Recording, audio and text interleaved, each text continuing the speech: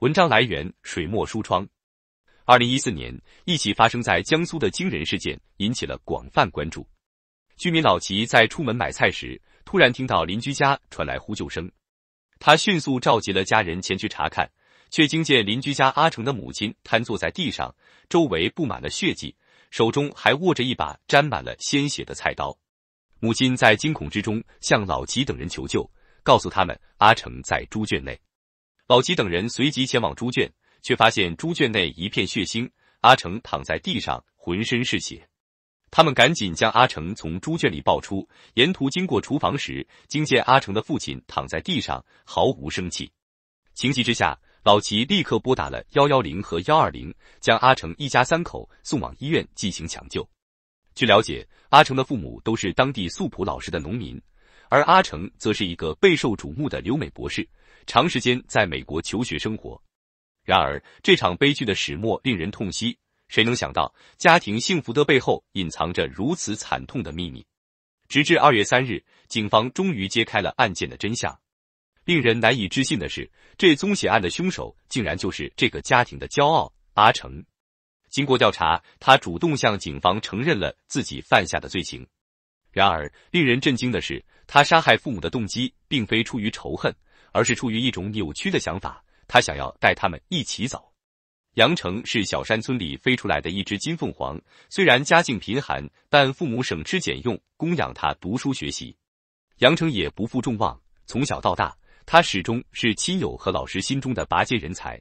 长大后，以优异的成绩考入了中国科技大学，并凭借着优异的成绩和努力，获得了留学的机会。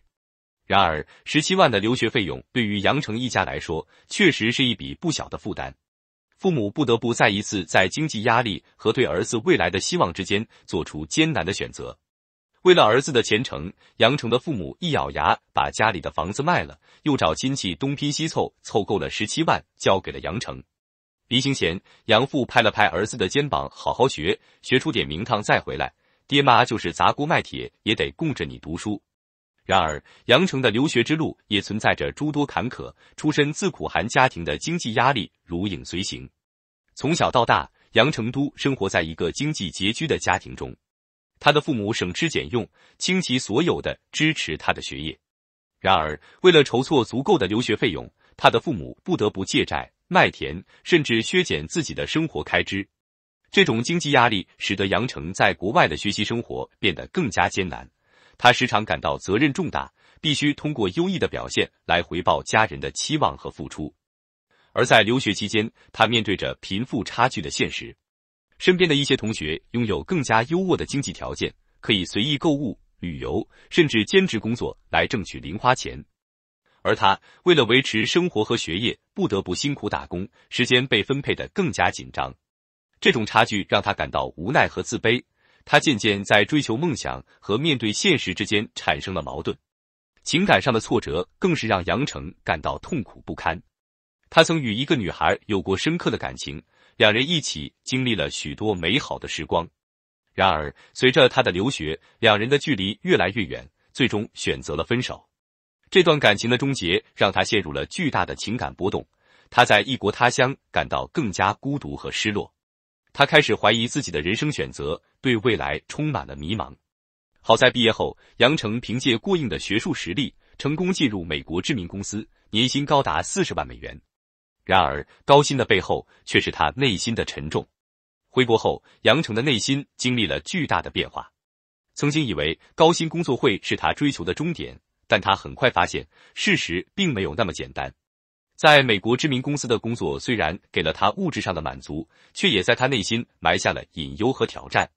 一回到家乡，杨成原本以为自己会成为家乡的骄傲，但面对亲戚朋友们的询问和期待，他却感到了前所未有的压力。他看到身边人的成功和进步，看到家乡的繁荣和变化，心中却产生了一种无法言说的失落感。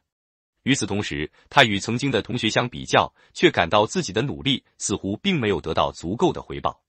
这种比较让他陷入了情感的困境，他开始怀疑自己的价值和能力，产生了强烈的自卑感。这种自卑感逐渐侵蚀了他曾经的自信心，他开始怀疑自己的选择，质疑自己是否真的足够优秀。他在职业上的成就虽然显著，却无法抵消内心的不安和不满。他发现自己在追求事业的同时，忽略了情感和内心的需求，导致内心的空虚和焦虑。在多重压力的作用下，杨成的心理状态逐渐恶化。在他的内心深处，一种被边缘化、无法被理解的情感膨胀着。突然的一天，他听到了亲戚们攀比、同学们成功的话语，想到自己一个人在国外努力奋斗。相比国内同学却没什么优势，心中压抑的孤独感、失落感和挫败感愈发强烈，再次有了轻生的念头。我自杀了，我的父母该怎么办？因为担心父母无法承受失去自己的痛苦，疯狂的杨成便打算先杀了他们再自杀，这样一家三口在地底下还能团圆。于是，趁着父亲不注意，陷入癫狂的杨成用砖砸向父亲的后脑勺，并补了几刀。而后转向已经被吓傻的母亲，最后准备自杀的时候被邻居救下并报警。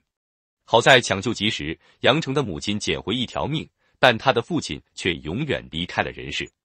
而已经构成故意杀人罪的凶手阿成，被诊断出患有无精神病性症状的抑郁症。再加上杨成母亲的谅解书和村民的求情，最终法院酌情判李杨成有期徒刑十年，并剥夺政治权利两年。曾经的天之骄子。如今的阶下囚令人唏嘘。